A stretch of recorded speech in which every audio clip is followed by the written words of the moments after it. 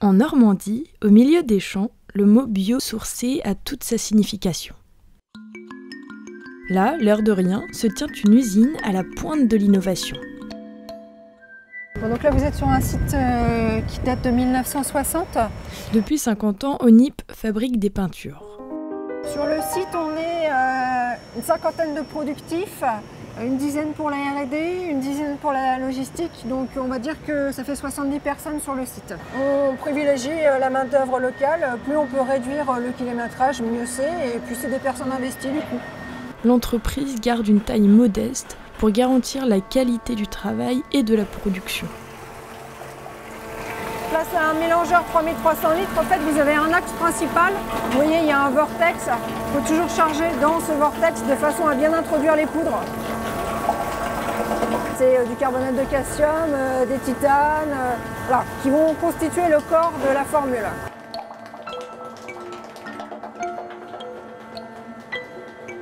L'investissement en recherche est le principal atout de l'innovation. Les chercheurs de NIP ont conçu mieux qu'une peinture qui ne pollue pas, une peinture qui absorbe la pollution. L'idée c'était non seulement de fabriquer des produits peu émissifs, donc avoir une étiquette A+, mais aussi participer euh, à cette dépollution de l'air intérieur, puisque la pollution de l'air intérieur vient euh, essentiellement de tout ce qui est euh, produit d'ameublement, tout ce qui est cuisson ménagère, ça émet beaucoup de, polluants. Vous avez des plafonds, des dalles de plafond, des choses comme ça, les moquettes. Certains textiles peuvent émettre également la fumée. Et, et une autre source que très peu de gens connaissent, ce sont les fruits lorsqu'ils pourrissent, et principalement les pommes, lorsqu'elles pourrissent, émettent énormément de formaldéhyde.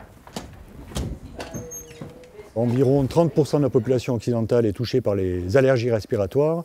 Cette maladie a été classée quatrième maladie mondiale par l'OMS. Euh, et surtout, le formaldéhyde, c'est important, qui est donc le composé organique volatile le plus présent dans l'air intérieur, a été classé officiellement cancérogène par le CIRC, qui est le Centre international de recherche sur le cancer, depuis 2004. Donc on s'est intéressé à ça, ça a nécessité trois ans de recherche avec euh, un fournisseur de matières premières pour mettre au point un principe actif qui fait que dans le film de peinture, on arrive à emprisonner les molécules de formaldéhyde, à les détruire et à ne relarguer que de la vapeur d'eau.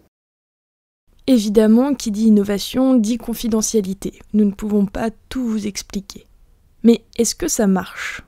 Un client bien connu a essayé le produit, la maison de la radio. Nous avons testé sur deux studios Initialement, donc, ils étaient à des valeurs au-delà de 200 microgrammes par mètre cube. Et grâce à notre peinture, nous avons réduit de plus de la moitié. Donc le procédé marche. Il a été validé en laboratoire, mais il a été également validé sur chantier. Cette peinture devrait être remboursée par la sécurité sociale. La pollution intérieure est un tel problème que ce produit est destiné à un bel avenir. Donc un marché colossal évidemment, puisque dans un premier temps, dès 2015, on a dénombré 11 000 crèches en France qui sont concernées, par exemple, 17 000 écoles maternelles, donc vous voyez, écoles maternelles, donc vous voyez le, potentiel que ça peut représenter, mais aussi 32 millions de logements individuels, euh, appartements ou maisons, qui sont concernés par cette pollution de l'air intérieur. Ce sont des démarches, on a plein, plein de tiroirs qu'on a ouverts avec des, projets très exotiques, euh, un peu euh, même surréalistes, futuristes. Et, voilà, on se rend compte que finalement, avec un peu de patience, avec, euh, des, personnes très compétentes que l'on a ici ou des partenaires, euh, on arrive finalement euh, parfois à aboutir, c'est la recherche, hein, on aboutit ou on n'aboutit pas.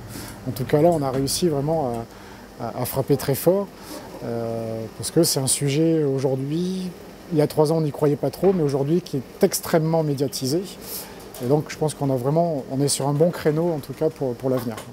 Mais que se passera-t-il si les ventes s'enflamment on a 20% de latitude euh, pour produire en plus. Donc euh, après, il faut se projeter.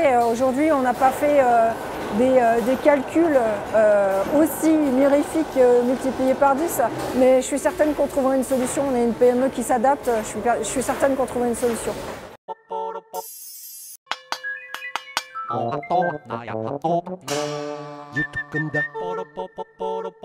Stop.